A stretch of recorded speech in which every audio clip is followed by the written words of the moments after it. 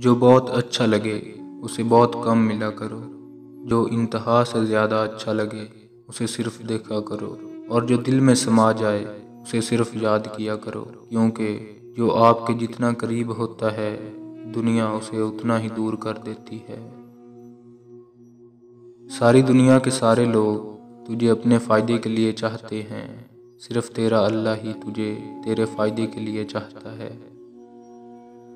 आँसू का हर कतरा दुनिया की हर चीज़ से ज़्यादा महँगा है, लेकिन कोई इसकी कीमत उस वक्त तक नहीं जान सकता, जब तक वो उसकी अपनी आँख से ना निकले। हज़रत अली रज़ी अल्लाह से किसी ने पूछा कि आपकी तलवार तो बहुत तेज़ है, मगर आपकी सवारी सुस्त है, क्या ही अच्छा हो अगर आप सवारी भी तेज़ रख लें? तो आप रज़ी अल्लाह ने फरमाया तेज सवारी की ज़रूरत दो किस्म के लोगों को होती है। एक वो जो मैदान से डर के फरार होना चाहते हैं।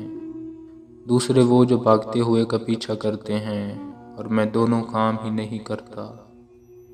जिससे ज़्यादा मोहब्बत हो, उससे इतनी नफ़रत भी हो सकती है। क्योंकि खूबसूरत शीशा जब टूटता है तो ख़तरनाक हथियार बन जाता है। हमेशा अपनी छोटी छोटी गलतियों से बचने की कोशिश करो। क्योंकि इंसान पहाड़ों से नहीं, पत्थरों से ठोकर खाता है।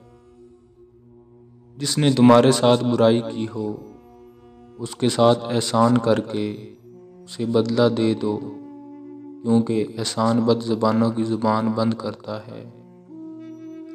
लफ्ज़ इंसान के ग़ुलाम होते हैं, मगर सिर्फ़ बोलने से पहले तक। बोलने के बाद इंसान अपने अल्फाज का ग़ुलाम बन जाता है। ज़िंदगी के तीन असूल बना लो। उससे ज़रूर माफ़ी मांगो, जिसे तुम चाहते हो। उसे कभी मत छोड़ो, जो तुम्हें चाहता हो। उससे कभी कुछ ना छुपाओ, जो तुम पर एतबार करता है। ज़िंदगी में हमेशा अपने चाहने वालों को अपनी कमी महसूस कराओ, मगर ये दूरी इतनी लंबी ना करो कि कोई आपके बगैर जीना सीख ले। दोस्त के साथ उस नमक की तरह रहो जो खाने में दिखाई नहीं देता। लेकिन अगर ना हो तो उसकी कमी बहुत महसूस होती है। जहाँ आपकी इज़्ज़त ना हो, वहाँ मत जाओ। चाहे वहाँ खाना सोने की प्लेट में और चांदी के चम्मच में ही क्यों ना दिया जाए। रिजक के पीछे अपना ईमान ख़राब मत करो, क्योंकि रिजक इंसान को ऐसे तलाश करता है, जैसे मरने वाले को मौत। अगर इंसान को तकबर के बारे में अल्लाह की नाराज़गी और सज़ा का इल्म हो जाए तो बंदा सिर्फ़ फ़कीरों और गरीबों से मिले और मट्टी पर बैठा करे। तीन रिश्ते बेनकाब हो जाते हैं।